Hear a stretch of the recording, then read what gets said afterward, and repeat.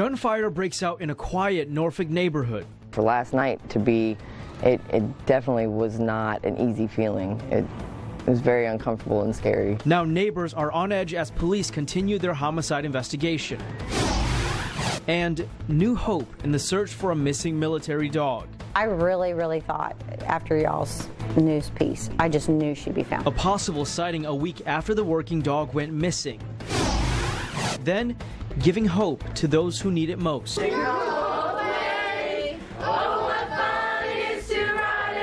Santa made a special early visit for these kids in Chesapeake. Live at 11, this is 13 News Now. Thanks for joining us for 13 News Now at 11. I'm Chenue Her. Tonight, we start with gunshots that jolted a quiet Norfolk neighborhood awake this morning. That gunfire left one man dead and another one seriously injured. 13 News Now reporter Megan Shin spoke to neighbors about the terrifying awakening. And Megan, you were there at the scene earlier today.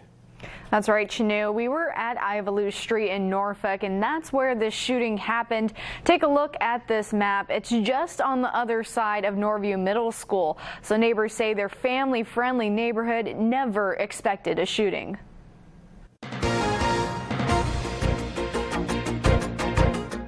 Ivalou Street in Norfolk is so quiet you can hear birds chirp. Neighbors say it's a family friendly street. They all went to school here, grew up, started families, so it's, you know, for them it's still, you know, to walk around with a chip on their shoulder, it's not something they want to wake up to. Now the street is the center of a homicide investigation. And then all of a sudden I heard the neighbor scream. June Sherman says she lives next door to where the shooting happened, barely separated by a fence. Police found one man shot inside a car who died at the hospital. Officers then found a second man inside this house, also shot. And then a few minutes later, you know, fire trucks, ambulance, and police were everywhere. Both men are now part of the same investigation. Sherman says police knocked on her door just after 2 Sunday morning. That they were looking for somebody that had walked by, and my brother has a camera in the window. We were hoping that we might have caught something. With no luck getting footage, police are asking for the public's help. Sherman is new to Ivalou Street and hasn't met her next door neighbor. I'm a medical assistant, so if I would have if I would have known if she would have knocked on the door or if anything else, I could have at least attempted to help. Neighbors say even then, everyone keeps to themselves. The only sign of a crime scene are now these black gloves left on Sherman's lawn. You know, five kids of my own, it's a, it's a scary thing to think and the injured man found inside a house was taken to the hospital. He is expected to be okay.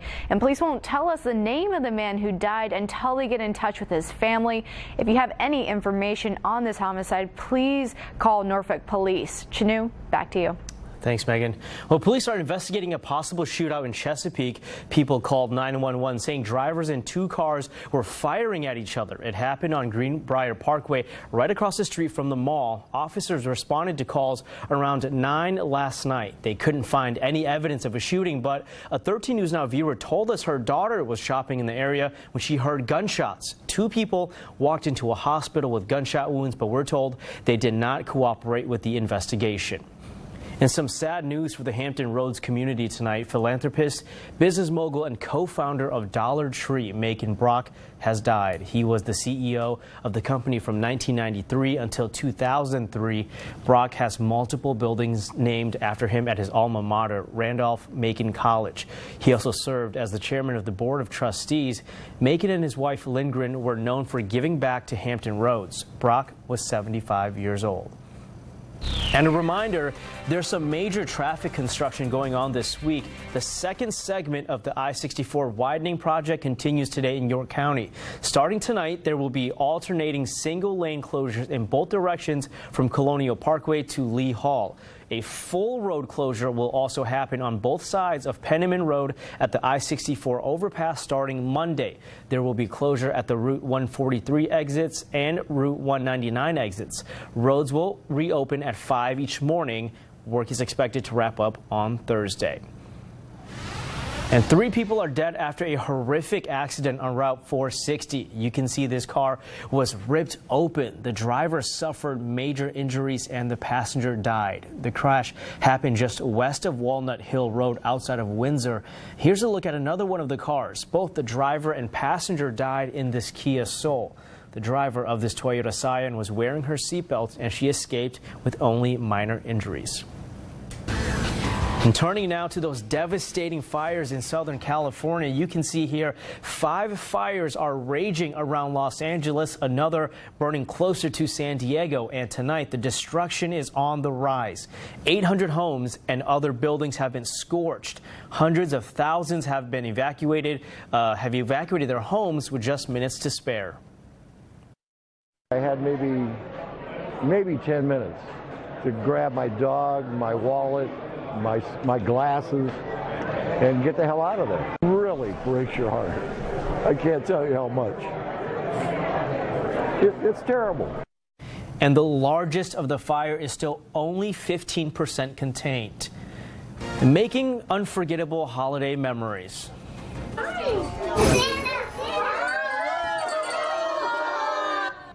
Santa delivers more presents to these sick children in Chesapeake. Then this. This might be a chance, and we're willing to take it. Organizers calling in the reinforcement to find a missing military dog one week into the search, but they're still not giving up hope. A possible glimmer of hope in the search for a retired military dog. This is Darja. She went missing last weekend in Portsmouth. Today, 13 News Now learned there was a possible sighting in Suffolk near Bridge Road. The pup came from Mission Canine Rescue in Texas. The organization brought Darja's brother Kilo here to help in the search. Organizers and the dog's owner Frankie are not losing hope. There's a, it's a needle in a haystack, and we I really really thought after y'all's news piece, I just knew she'd be found. No. We're not giving up. We'll we'll keep plastering. We'll keep putting up the signs. Frankie won't give up. I can tell you that. Tonight, the reward for finding the missing dog is up to $2,000. You can get more information about Darja on 13newsnow.com. And now your 13 News Now weather forecast. Certified most accurate in Hampton Road. 46 Thursday, 49 Friday, 50 Saturday, and back above normal by this time next week. You said warming it, but I couldn't get my off of Wednesday. I know it's that 37. Yeah, that really does stick out, doesn't it? it really does. Yeah. All right, coming up later on the Sunday Sports Special, it was Championship Sunday in high school football. The one, the only Brian Smith has highlights of Oscar Smith's title game with Westfield. Could three finally be a charm for the Tigers?